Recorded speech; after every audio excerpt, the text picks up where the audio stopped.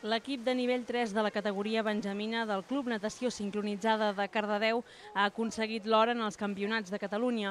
El grup està format per 12 nedadores d'entre 9 i 11 anys. Fa dos anys van aconseguir el bronze competint en el nivell 1. L'any passat van assolir la plata en el nivell 2 i enguany han tastat la victòria definitiva posicionant-se com les millors de Catalunya. En l'exercici de combo que van realitzar van demostrar la seva motivació i la sincronia. L'exercici que vam fer podíem participar, en veritat, entre 8 i 12 nedadores, elles feien 12, amb la qual cosa és més difícil sincronitzar-les totes elles, i era un ball que durava dos minuts, amb música, i hi havia una estona que participaven totes, hi havia una estona que participaven quatre, hi havia una estona que participava una, però en cap moment es pot tocar la paret. És a dir, quan ho fa una, les altres representa que estan en fila, també estan en formació, no estan de qualsevol manera a la piscina. No? L'equip guanyador de l'or ara passa a nivell de les alevines, on es trobaran rivals que ja porten dos o tres anys competint en la categoria.